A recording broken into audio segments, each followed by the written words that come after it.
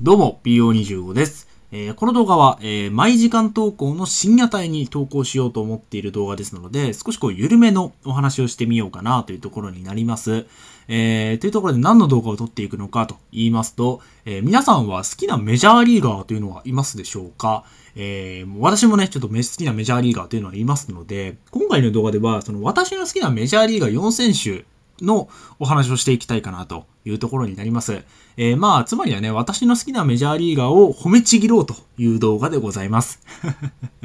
まあ、というところで、まあ、ただこの4選手はですね、ちょっと前の動画でお話ししたことあるので、あ、まあ、そんなに新鮮なことでもないんですけど、まあ、よろしくお願いします。では、行きましょう。まず一人目でございますが、一人目はジョナサン・ビアーですね。え22年、えエンゼルスでプレーしたこともあり、え知っている方も多いんじゃないでしょうか。えですがですね、こう、エンゼルスでプレーしているところを見て知った人は、どっちかというとこう悪い印象しかないかもしれません。えしかし、本来のビアーというのはですね、こう、打って走れる万能ユーティリティというね、え選手でございます。まあ、現カブスの、えートレイマン・シーニーからはですね、えーボルティモア時代に、えーチームメイトだったわけですけれども、え彼は球界で最も過小評価されていると言われたこともあるほどの選手でございます。えまあ、そんな私が好きになったのはね、え2019年、まあ、えこの言葉は言われた年なんですけれども、えマー君が先発の試合だったんですよね、その日。で、中継が、えされていました。なので私も見てたんですが、えその試合でビアーは、えなんとサイクルヒットを、え達成したんですね。もう、ボルティモアってやっぱりこう、19年ってもうほぼ、えー再現期のチームに入っていますので、一人だけこうめちゃくちゃね、ギラギラに活躍してたのを非常に覚えておりまして、そこからそうやってね、こう、ビアが好きになってきました。えーそれもあってやっぱりこう、ボルティモア時代のビアが一番好きですかね。えー時点で、えーマイアミ。うん。あそこの二つのね、こう、再建中のチームの中で一人ギラギラに輝くビアっていうのは、すごく好きでした。まあ、ただビアのね、えマイアミ時代っていうのは、マイアミがポストシーズン出てますので、しかもビアトレードデッドラインでね、あの、ジェイズ行っちゃったんで、いろいろおかしな話にはなってくるんですが、まあ、一人目はジョナサン・ビアでございました。続いて二人目でございます。二人目はニック・マーケイキスでございます。個人的にはミスター安定感という名前がふさわしい選手だと思っております。まあ、通算2388安打を誇る、えー実は隠れた3000本候補でありました。えー毎年安定した打撃成績をね、残してくれる計算のしやすい選手でございまして、えーまた頑丈なのも特徴の一つ、え MLB15 年で、えー2154試合に出場、えー2006年、2012年、2019年、2020年を除いた、え11シーズン、すべてで155試合以上に出場する鉄人っぷり。しかも20年に関しては、えまあ短縮シーズンでありますので、ほぼカウントに入れないとなると、とんでもない数になるというところでございます。えー守備でもですね、ゴールドグラブを3度受賞という、こう、記録というかね、こう、受賞だけの記録だけではなく、こう、連続無失策試合数398試合というのをね、記録を持っております、マーケーキスは。えーこの記録、実は外野手として歴代1位となっておりますので、非常に守備も上手い選手でございます。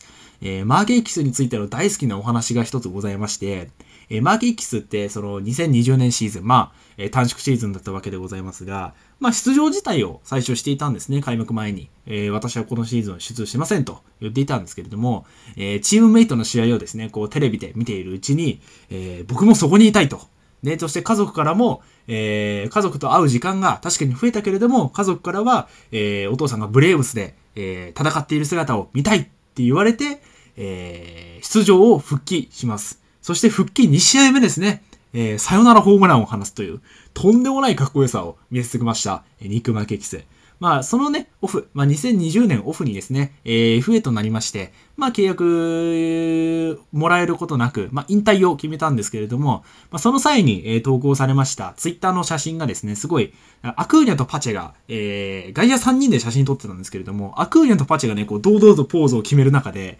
横でこう、ひょっこり現れてピースをしているマーケイキスがですね、こうなんか、あの二人に比べて、俺派手じゃないよね、みたいな感じで、ちょっと、マーキーキスの選手像を表しているらしい写真だなと感じてまして、すごく好きな写真でございます。まあ、それでは二人目、ニック・マーキーキスでございました。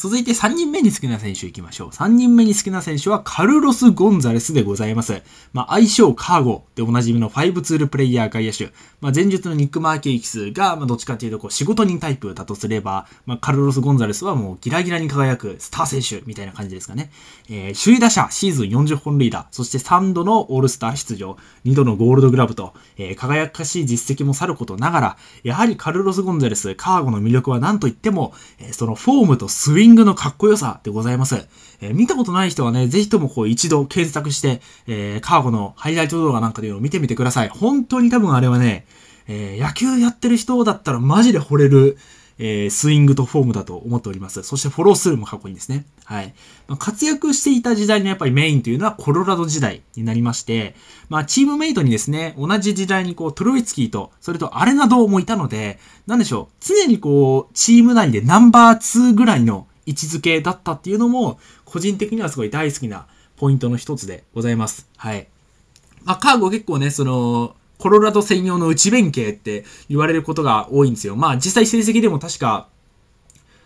フォームとアウェイの OPS が結構乖離がありまして、まあそういうところでまあコロラド専用かなという感じにはなるんですけれども、まあそれでもね、まあ、血のりを生かした活躍というのは個人的にはすごくまあ、やるべきことというかね なんていうんですか、こう、血のりを生かして活躍したんだから、まあ、それもそれでいいじゃないかというところになります。えー、いつの間にか引退してました。えっ、ー、と、コロラドから一度、えー、インディアンス行きまして、で、そこからカブスに行って、えー、で、えー、シアトルのマイナーにいたんですよ、最初。で、最初っていうか2020年ですね。そこからマイナーの大量解雇がありまして、えー、いつの間にか確か引退してましたね、カブはね。うん。じゃあラストいきますか。ラスト4人目は、えー、私の好きな選手はディディ・グレゴリウスでございます。これ何回か動画でも言ってるんですけれども、ディディが私一番好きでございます。えー、私がメジャーリーガーで最も好きでありまして、えー、MLB を見始めるきっかけになった選手でもございます。えー、なんでね、そう、ディディがそんなにきっかけになったかっていうと、えー、中継を、えー、見ていたんですね。ヤンキース戦の。その日は確かマー君が先発だったので多分中継見てたんですが、その日のスタメンが1番ガードナー、2番ジャッジ、3番スタントン、4番ディディ、えー、5番サンチェスみたいな打順だったんですね。で、それを見たときに、えっ、と、まあその時あんまりメジャーリーグ知らなくて、まあジャッジ、スタントンっていうのはしてたんで、この2人より、この2人を差し置いて4番打つんだこの選手なんかすごいなって思ったのがディディとの最初のきっかけでしたね。そこからこうディディにちょっと興味を持って、まあいろいろ調べていくうちに、だんだんこうメジャーリーグを持っていくようになったって感じ。それも前まではですね、こう、まあちょくちょく見てる感じ。なんか記録がかかった位置の試合とかたまにやってるじゃないですか。えー、そういうのをちょっと見てたくらいかな。だから、ホセフェルもね、確か最後の登板見てるんですよ。中継で。すごいピッチャーだなと思ってました。うん。まあそんなね、ディディでございますが、えジーターの後継者として、ま、活躍しまして、えヤンキースのショートとしてシーズン本塁打記録を、え、所持するなど、え実績も十分ながらですね、こう、でございます。えー、後にですね、こう、トーレスが、あそこまでこう、若くして活躍したトーレスが、えー、ショートでうまくいかなかったってことを考えるとですね、こう、改めてこう、ショートで、ヤンキースのショートとして、こう、成績をね、毎年残していたディディっていうのはすごかったんだなと感じます。まあ、人柄も非常に素晴らしくてですね、こう、LA の、えー、ロサンゼルスのヤンキースファンが、えー、ヤンスタに招待された際に、確かその家族がですね、 favorite 選手、まあ、お気に入り選手が、えー、ディディだったんですね。そしたら、その見学中、あの、会見室みたいなのあるじゃないですか。えー、そこの見学中に家族の前に颯爽と登場して、えー、お話をするっていうディディのね、動画があるんですけども、それ大好きなんですね。はい。まあ、あとはね、トーレスとかアンドハの、まあ、兄貴的存在として、こう、一緒にパフォーマンスしたりとか、試合中話したりするっていうところの、姿もね、非常に好きでございました。えー、絵が趣味だったりとか、えー、絵文字を駆使したツイッターなんていうね、こう野球以外の魅力的な、えー、ところもある選手でございます。はい。まあ、好きな話のもこちらもあるんですけれども、ジーターの引退の際にですね、確かインスタでジーターの絵を描いて投稿したんですよ。その時ディディって確かジーター引退が2014年で、で、ディディがヤンキースからでプレイし始めるのが15年からなんですね。というところで、あの、まだその時って確か、あの、ヤンキースじゃないですよ、ジータ。ジータじゃない、えー、ディディは。だけど、翌年からヤンキースに移籍して、後に自分がその絵を描いたジーターの後継者として、ショートのレギュラー活躍するっていうのがね、すごい大好きな話でございます。まあ、昨シーズンの途中にですね、ディディがえー、フィリーズから DFA されまして、まあ、現在 FA、そこからずっと FA というところで、まあ、来年の所属先がね、こう、早く決まってほしいなと思うばかりでございます。以上が、えー、私がですね、こう、メジャーリーガーとして、えー、好きな4選手でございます。その他もこう、なんて言うでしょう。あ、この選手面白いなとか、ね、思う選手はいるんですよ。カマルゴとかね。あそこら辺もいるんですけど、やっぱりこの4選手はちょっと、特段に好きだなと。まあ、しかもこう、紹介していった順ですね。えー、まあ、ディディが1位で、2位カーゴ、3位マケイキスの4位ビアみたいな、え、感じの状況でございます。まあ、もしかしたらこれからね、え、それを更新してくるような選手が出てくるかもしれませんが、まあ、そこはよろしくお願いします。というところで、ありがとうございました。皆さんの好きな選手は誰でございましょうか、えチャンネル登録の方もお待ちしてますので、よろしくお願いします。では、バイバイ